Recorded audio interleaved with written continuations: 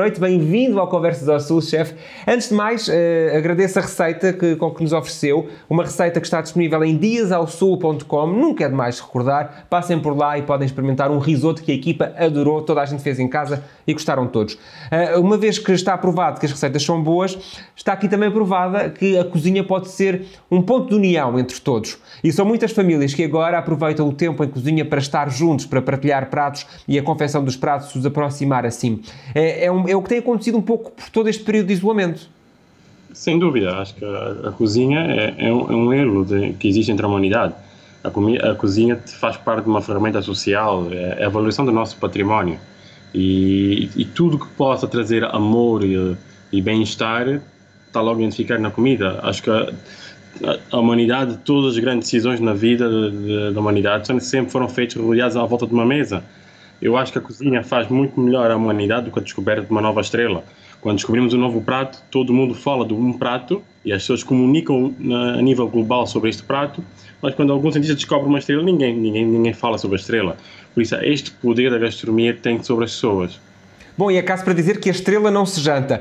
E por falar em jantar, é importante voltar aqui um bocadinho aos produtos da terra, aos produtos tradicionais, eh, que estão ao alcance um bocadinho de todos. Eh, em Angola, por exemplo, certamente poderá haver aqui uma grande oportunidade de utilização de produtos como o tutulho, o jimbo, a quizaca ou até mesmo dos catatos. Claro, claro, claro. Eu digo sempre, Angola é um país que tem, deve ter, porque nós angolanos conhecemos pouco Angola, uh, temos uh, e precisamos de dar valor à sabedoria das tradições ok? Uh, hoje existe um fosso muito grande entre as, as zonas rurais e as, as, grandes cidades, a zona urbana, e é preciso uh, trazer esta, esta, esta, proximidade. Há muita coisa que nós temos que aprender, eu falo por mim como chefe, e acho que nós temos que ter um propósito multigeracional.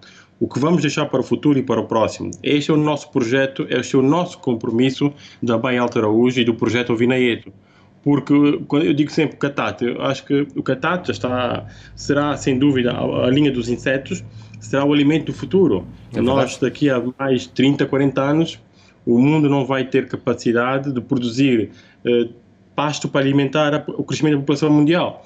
Então, por isso, a, a vaca vai ser cada vez mais cara, o, as aves vão ser mais caras, e por isso há, hoje já existe um, um, grande trabalho sobre o mundo dos insetos. Na Europa está, muito forte, através dos países nórdicos, que já estão a começar a fazer produções nacionais, a começar a fazer os testes nos supermercados, tentar mudar o hábito alimentar.